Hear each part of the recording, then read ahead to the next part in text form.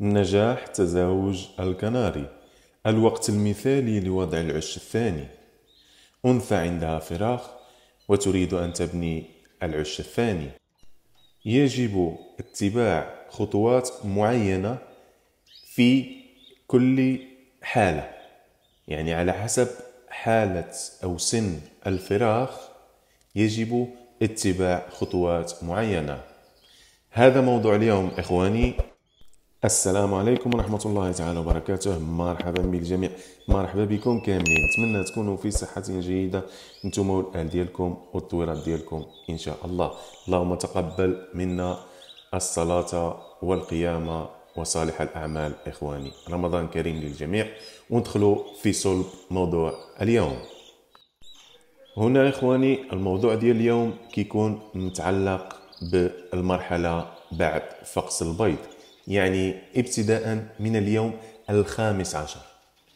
وركزوا معايا مزيان. اليوم الخامس عشر إخواني من عمر فراخ الكناري. بين يوم 15 و 30 يوم من عمر فراخ الكناري تبدأ في الخروج من العش على حسب البنية ديالها على حسب الأم يعني الأبوين أو الأم كيوكلوا الفراخ مزيان والتغذية واش مزيانة اللي كتقدم الطيور ديالك واش متنوعة ومتكاملة واش انت كتساعد الأنثى في الإطعام. يعني كل هاد العوامل كتدخل وكتجعل الطائر يخرج في يوم أو آخر. يعني على حسب كل فرخ وقت الخروج ولكن الخروج يكون من العش بين 15 و 30 يوما. فهذه المرحلة يا إخواني يجب القيام بخطوات على حسب كل حالة. نبدأ بالحالة الأولى يا إخواني وهي الأنثى كتفتش على مواد تعشيش. الأنثى كتحاول توضع أي حاجة في العش. يعني وإذا حطيتي لها مواد ديال التعشيش غادي تلقاها كتحط داك المواد في العش اللي فيه الفراغ وهي مازال ما خرجتش من العش. شنو هي الخطوات اللي غادي نعملو؟ أول حاجة غادي نجيبو عش تاني. غادي نوضعوه في نفس مكان العش الأول. متفقين؟ هذه أول خطوة.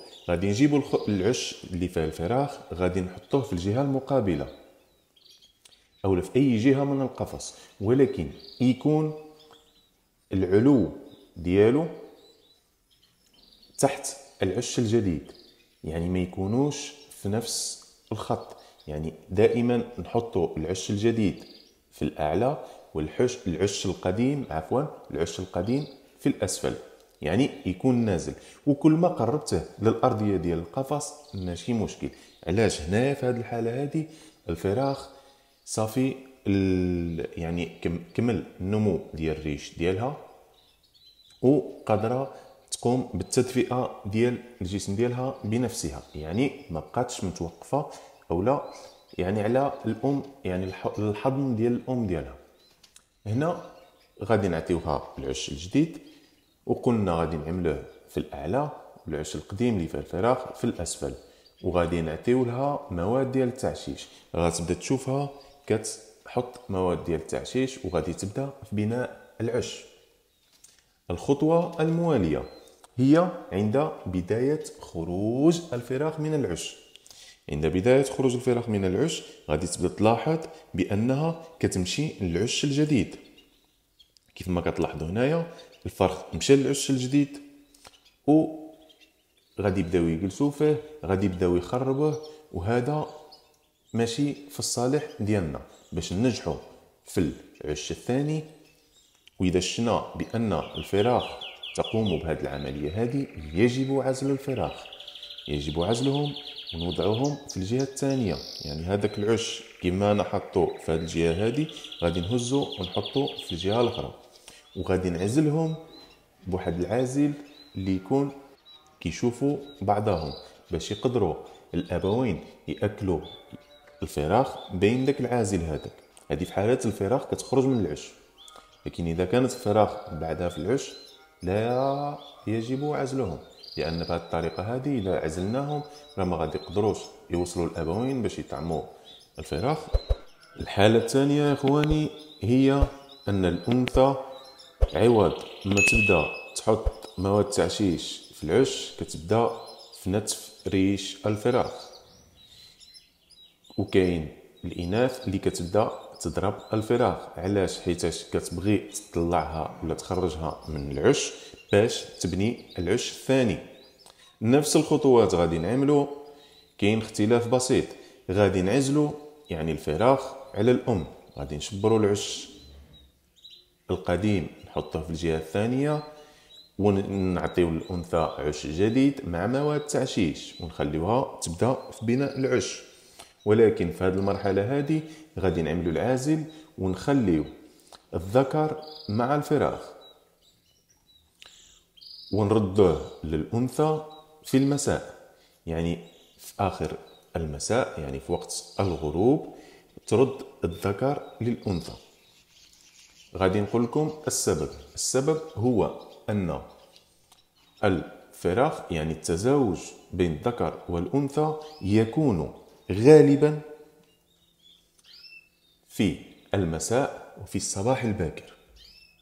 وبهذه الطريقة هذه غادي نتفاداو البيض غير مخصب مع أن الفراخ آه عفوا مع أن التزاوج يحدث في النهار أيضا ولكن حنايا بما أن عندنا الفراخ وباقي متوقفين على الأبوين ديالهم باش يقوموا بالتغذية ديالهم لازم نعزلوهم ونخليو معهم الأب طول النهار يطعم الفراخ وفي المساء ندخله على الأنثى.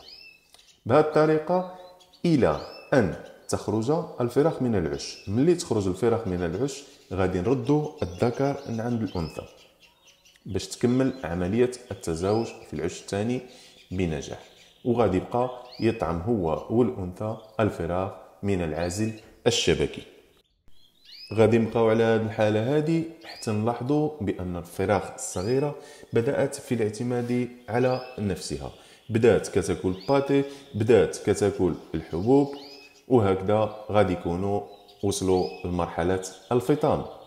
ملي غادي نوصلوا لهذه المرحلة هذه غادي نجيب واحد العازل اللي هو غادي يخلي بأن هذه الفراخ الصغيرة ما تبقاش تشوف الأبوين ديالهم.